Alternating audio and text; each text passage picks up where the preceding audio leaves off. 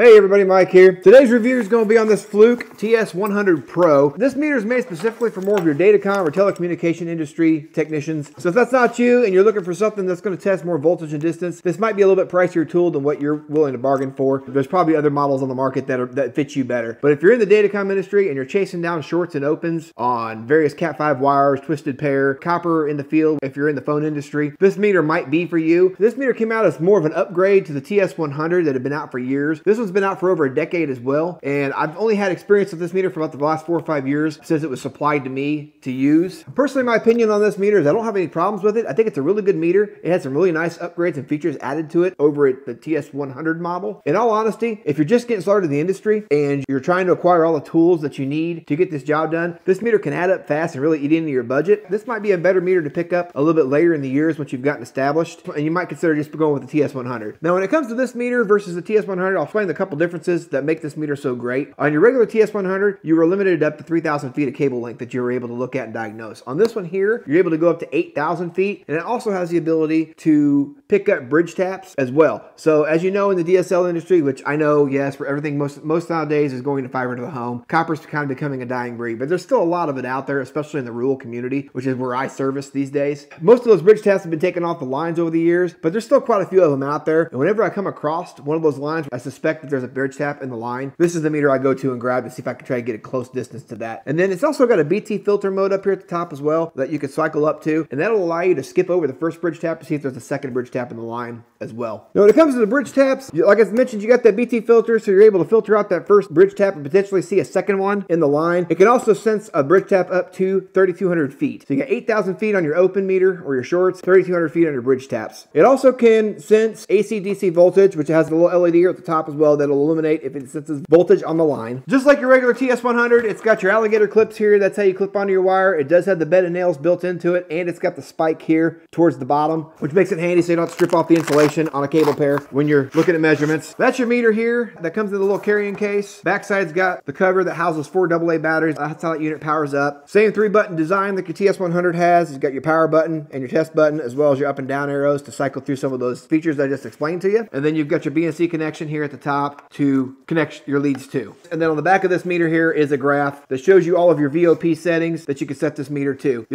That part as far as setting that goes is instead of holding both buttons down and hitting the power button, you only hold the up arrow to power that. And then at that point in time, you can see your VOP setting. You could switch that over to whatever you need it to be and then go back to set again. If you hold both the buttons down and hit the power button to turn it on, that's going to allow you to go back and forth between feet and meters depending on what preference you have and where you're working. So I obviously leave mine in feet based on where we live and what we're comfortable with and distance. Now when it comes to that VOP setting, something you might want to download or keep with you handy, unless you just want to rely on the graph on the back side of that that meter I just showed you is these two pages within the instruction manual. This has all of the VOP settings and based on types of cable that you might come across out there in the field. So if you've got one cable over the other that you are used to working on. So for me, most of what I deal with is your twisted pair 24 gauge cable that's gel filled. So that's that 66 I was telling you about. I do go back and forth occasionally. If I'm working in an area that's got a little bit more 19 or 22 gauge than, than some of the other areas have, I will switch that down to like the 68 to 64 or 60 VOP settings just to get a little bit more accurate reading. But 66 is a good default one to leave it on. It's going to get you pretty close. And then the